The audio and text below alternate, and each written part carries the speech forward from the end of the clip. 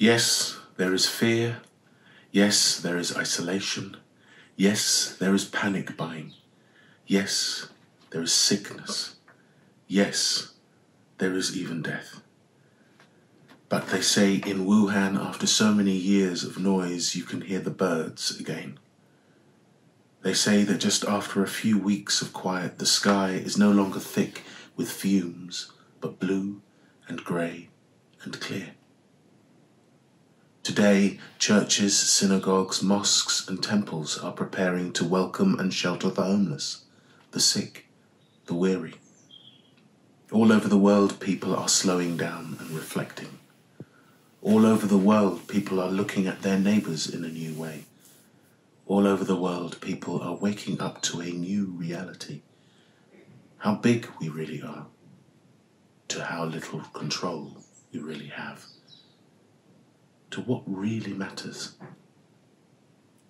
to love. The birds are singing again.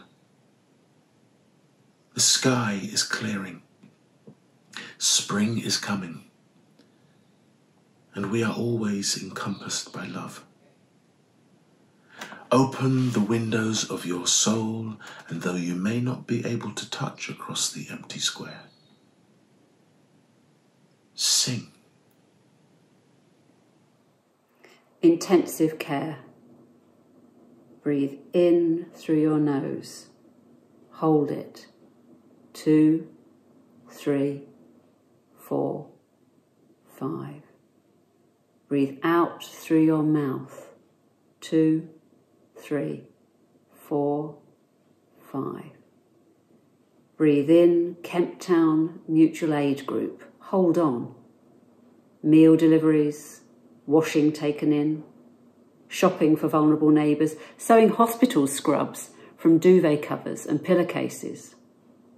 Breathe out, panic, cancelled gigs, lost livelihoods, universal credit. Breathe in care workers, hold them close. Travelling to my son's home on empty buses, wearing PPE, reassuring him, making sense of a world that is suddenly more autistic than he is. Breathe out avoidance of eye contact, control of new routines, shopping without speaking, two metres apart.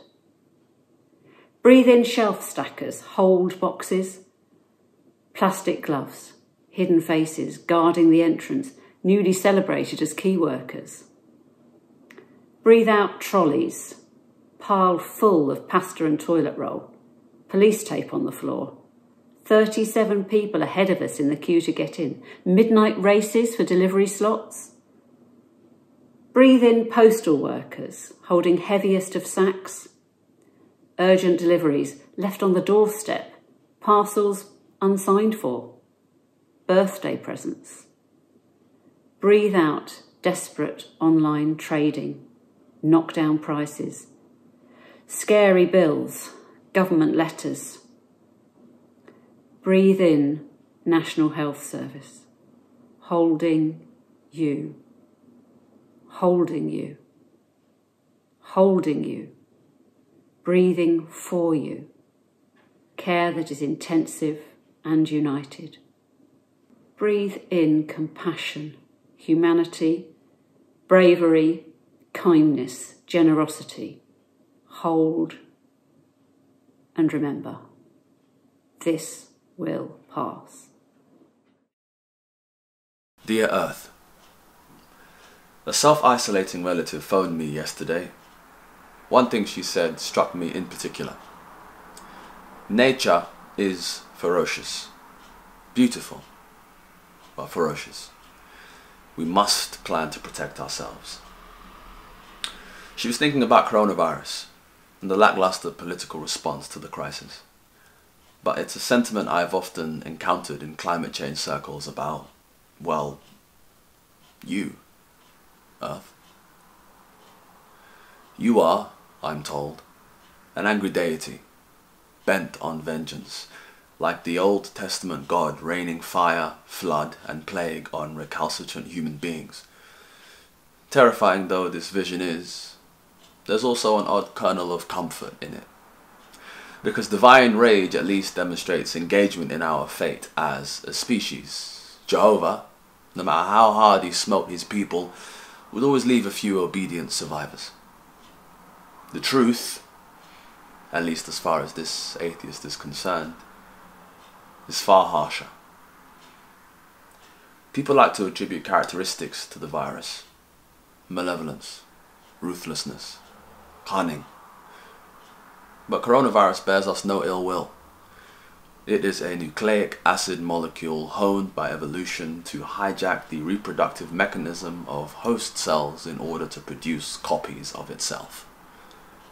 And you, Earth, spinning rock that you are, are similarly unperturbed by emotion or such elevated human concepts as justice. It makes no difference to you whether the cloak of life that swirls around you is a verdant web or a desiccated, tattered rag. You have been hot before. You have been cold before.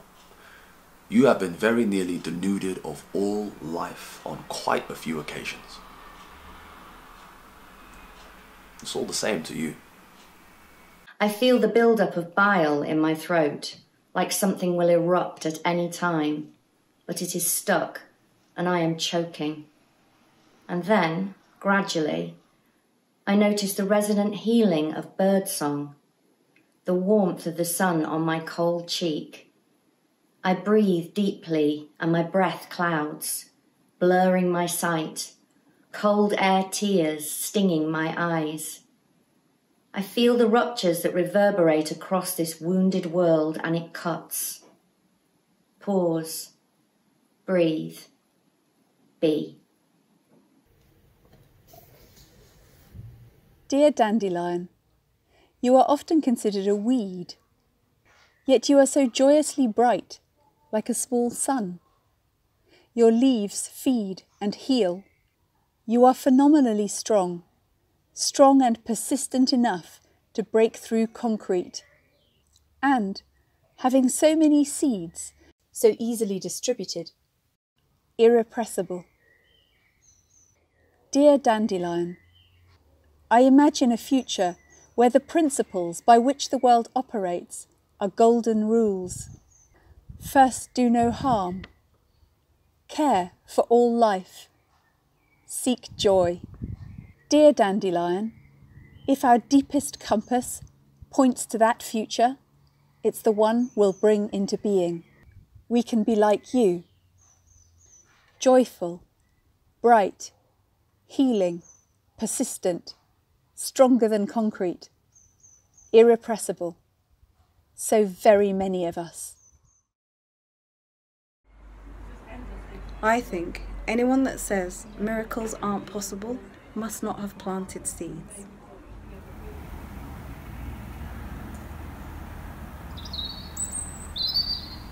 I am here, in my privilege, a brightly sunny home, looking out on a verdant communal garden, eating fresh salad from my son's happy place allotment, enjoying the homemade bread he brings. But I cannot be truly well. I cannot be well when the planet is shrinking and dying, its cries unheeded, as we exploit its resources, its people. I cannot be well when I see the breadth and depth of inequality and suffering, when the wisdom of the world's first people is not only denied, but condemned, where slavery is rampant, disguised in cheap products used and discarded without a thought. When these are the people who suffer the storm, the annihilation whipped up by the greed of the global north, I cannot be well when families in high rises are overcrowded with children, living in poverty, with worries of money, of health in all forms and nowhere to go. I cannot be well when the doctors and nurses are not fully protected, the dustmen shop assistants and farm workers are not fully rewarded. However much I love the earth, how could I possibly be well? For those of us who look at the trajectory of our civilization and cry out for someone, anyone, to pull the emergency brake, the essential question has always been how on earth do we turn the runaway train of progress away from the precipice it is speeding towards? I think that within each of us asking this question, there is a child pulling helplessly at the sleeve of a disinterested parent, begging to be heard and bewildered by the lack of response. Then, something so unexpected happens, so suddenly that we are left blinking in shock. It all stops. The brake is pulled. The train skids, screeching and bumping to a halt. COVID 19 halts our civilization in its tracks. Nature itself provides the impossible, the unimaginable, and in the blink of an eye, the planes stop flying, the cars stop driving, and every ecosystem on Earth breathes a sigh of relief. It is not a Disney moment. People are terrified, locked in their homes. Suddenly our parents are in danger, and we hold the fate of the elderly in our hands. We are eating poisoned food, drinking poisoned water, and breathing poisoned air, while the days slip by behind the window, unseen as we sit in front of our screens. We are a civilization of the unwell and suddenly the unwell are at risk. My name is Joseph Rose, and I love this world. I will not be quiet about this or embarrassed to say that I love the trees, the rivers, the mountains, the oceans, the colours and smells. I love the endless variety and the limitless beauty that waits for us beyond the window. I write all of this as a message to the resilience builders out there to the medicine men and women, to the activists, the environmentalists, to any human being who dares to imagine that a better future is possible. This message is simple, and undoubtedly many of you are spreading this in some version. This lurch in the status quo, this sudden emergency stop, is a window of opportunity that most of us have hardly dared pray for. We've reached a crossroads. Many paths lead from this place. More than ever, our future is held in our collective hands. This is the time to organise ourselves. The corona pandemic demonstrates the instability of our system. It is a tremor that shows us how unprepared we are for the earthquakes to come. It shows us our true priorities. If our system collapses, where will our food come from? Where will our water come from? Where will our energy come from? How well do we know our neighbours, our community? Resilience is found in the connections between people, in our relationships with the earth. It is the choice to care for one another, the choice to be generous. Building resilience is not a hardship or a burden, it is poetry and art. It is doing what feels right. It is planting a seed and watching something grow. It is harvesting food that we have cared for. It is symbiosis. It is collecting rainwater for your garden. It is noticing the first apple blossoms it is making new friends. Resilience is doing the thing that you have always wanted to do. It is taking a deep breath and letting go of all the drama. Embrace connection and community. It is the mortar that binds us together, that makes us resilient. With love, Joseph. I don't want the old world back. I want to inhabit this world differently. Now is a time like no other, full of hope and searing pain, full of heroes willing to give their last breath for another, and heroes forced to put their lives on the line. In this time, I grow claws and roots and dream of a tomorrow I didn't think was possible last month. May it come. We thought we knew about icebergs. They came out of the north and disappeared to the south, more and more every year. We didn't take much notice. We just carried on doing what we'd always done filling up the land, emptying the sea, throwing stuff away. until the big berg came. It arrived while we were sleeping. It blocked our harbor. No boats could get in, no boats could get out. We tried to push it out to sea. We tried to drag it off the rocks. Someone even tried to blow it up. But the big berg did not move. People grew hungry and afraid. The mayor called a meeting to decide what to do. Everyone had an opinion, but no one could agree. Then a child stood up and spoke. We didn't pay attention, but she kept on until we heard. Listen to the bird, she said. Maybe it can tell us something. Now, I wonder how things would be if we had done what that child asked. Dear people around the world, I know it's a hard time now. We can't go to school and we can't play with our friends. I understand I have to stay home so we don't get sick.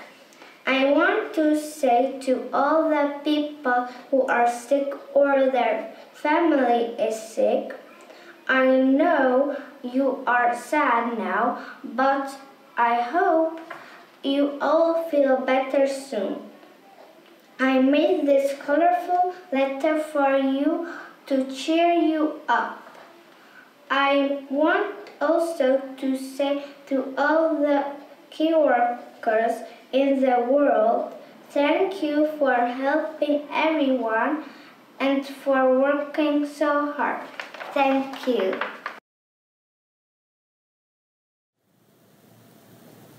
Querida tierra, estoy encerrado en casa y no puedo salir a disfrutar de la primavera es una de las estaciones más bonitas para mí.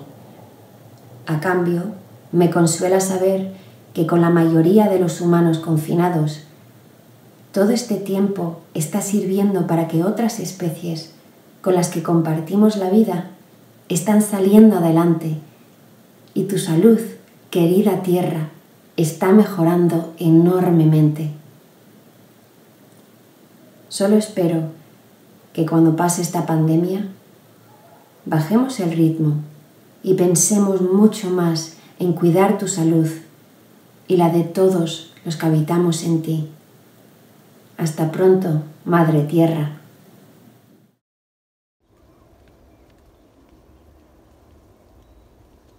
I used to travel to the edges of the world, to hear the voices of nature, to be a student of the earth. Now nature says, you must travel inside your soul.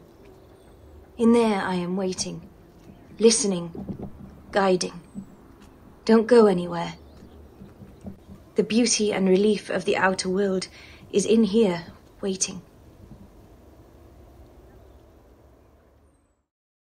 If grief truly is the price we pay for love, then let this be a love letter.